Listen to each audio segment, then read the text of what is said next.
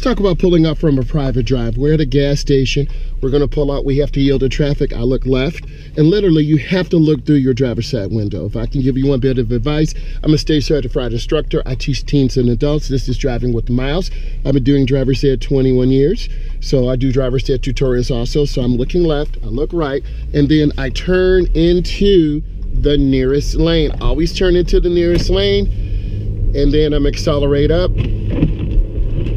as you can tell, uh, the windshield wipers are still covered with snow, but it cleaned my window, so that's good. You wanna set your defrost on, you wanna get a little heat going, and I'm gonna make a lane change to the left. How do you make a lane change to the left? It's mirror, turn signal, look over your shoulder for a blind spot, and then you get into the lane. The blind spot is the area in the front back, left, and right side of the car where the mirrors don't show a vehicle. I'm gonna make a turn up here. I'm turning on my left turn signal. There's a line broken. This is where you're supposed to merge in. Mirror turn signal blind spot. I'm really easy on the brakes. You have to be real gentle. There are timers that are in the ground, they're sensors. They sense the weight of a car, and then they will go into a cycle. Some lights are 30 seconds, 40 seconds, 50 seconds, a minute and a half, it varies. So I'm just here looking, checking traffic. You can see me looking. You always have to look around. Don't assume people are awake. It's eight in the morning. It's on a Sunday. People are not paying attention. Uh, this is a protected left-hand turn. Uh, red means stop and we're just waiting. You can see the light blinking yellow. They have their turn, uh, turning left across me, so we're just here waiting.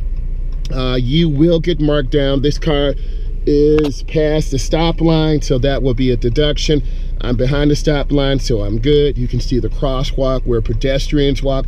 Intersections are the most dangerous place because cars are turning left, cars are turning right.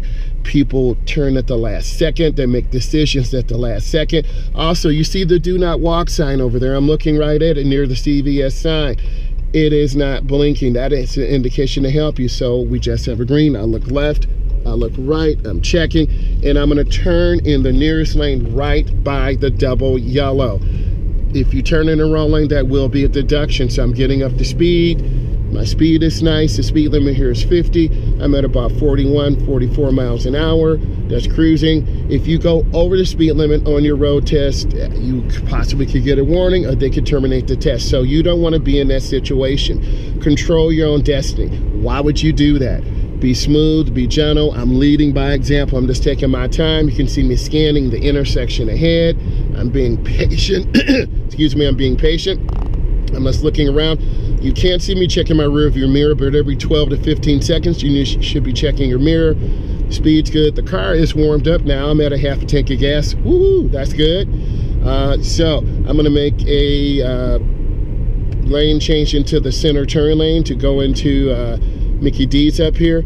So I'm gonna squeeze my brakes. You wanna get in at this left turnaround uh, the last second. So I'm squeezing my brakes, I'm waiting, and then I turn hand over hand into the turn, and then I turn hand over hand out. I'm gonna turn on my right turn signal, angle park, talk to you, and then end this.